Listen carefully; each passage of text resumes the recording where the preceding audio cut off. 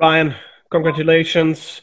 Um, you had uh, 72 checkouts to go 5 2 up and also an 86 checkout to go 3 1 up. Um, which of those finishes was the important one, do you think? Um, I think they're both good finishes. I think the 72, it's always nice to, um, when you've got a little two darter like that, to hit the big treble and the double straight away, no messing around. Gives you confidence and um, yeah, just went from there really. What do you expect from yourself going in these kind of tournaments?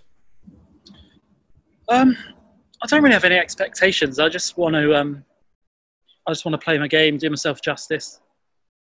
Because um, I feel like I haven't really shown, you know, I show it in little patches what I can do, but not really on a consistent basis. So um, when I start doing consistently, you know, I'll be, I'll be really happy. You said before that you knew you had to defend something from two years ago. Uh, how much do you look at your rankings? Um, I try and not look at it because it can put unwanted pressure on you. Um, but I did look at it this look at it at this time. Uh, obviously, knew I was defending money from two years ago in this, and I was defending money two years ago at the Grand Slam. So it's nice for that um, not to drop off and for me to uh, lose lose ranking points for that. So um, yeah, I'm happy with that, and I feel like now with the rest of the tournament, I've got nothing to lose. So I'm just looking forward to my next game.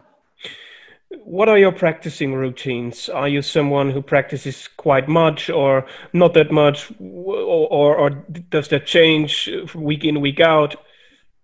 Um, I mean, when I'm at home, I practice on my own. Um, just a bit of scoring, then I'll just play legs in my head, just play 15 darts, and if I don't if I don't win a leg in 15 darts, then I lose, and just just do that. Um, when I'm on the, a tour event, I'll sometimes practice with Matt Edgar and Aaron Beeney because we're all with Loxley darts. Um, we'll play a few different games, stuff like that, and have a laugh.